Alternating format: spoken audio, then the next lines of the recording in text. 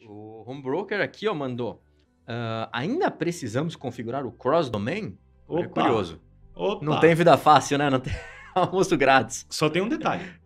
Antes era muito mais difícil. Era mais complicado. Nossa. Tá. Meu amigo, eu fiz uma live. eu vou falar de novo o, sobre o live. o almoço não é grátis, mas ele tá mais barato, né? É muito, Muito mais, bom. Tá?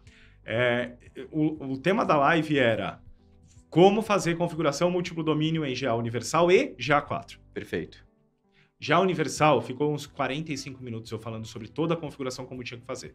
Tá. Fiquei 5 minutos no GA4. Putz, 10 olha que minutos eu legal. dei tchau.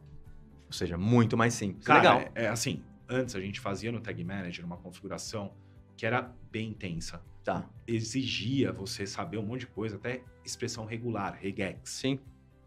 E agora não, no GA4 você simplesmente tem uma aba ali dentro das Uhum. configurações que você coloca quais são os seus subdomínios. Puta, que Então delícia. você coloca contém um, contém outro, é igual a um ou igual a outro, enfim, pronto, resolvido. que legal. Aí, ó. Boas notícias, né? Muito. Pô, maravilha. Cara, mas o- é, a única, única notícia que não é boa é que mudou. Tá. E que exige você se acostumar. Uhum. Mas todas as outras notícias, salvo ali as, as exceções e limitações que a gente Sim. mencionou, algumas aqui, cara, é muito melhor. É a Porsche da Analytics, cara. Olha só.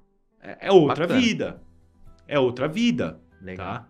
Olha que Porque não se compara. Perfeito.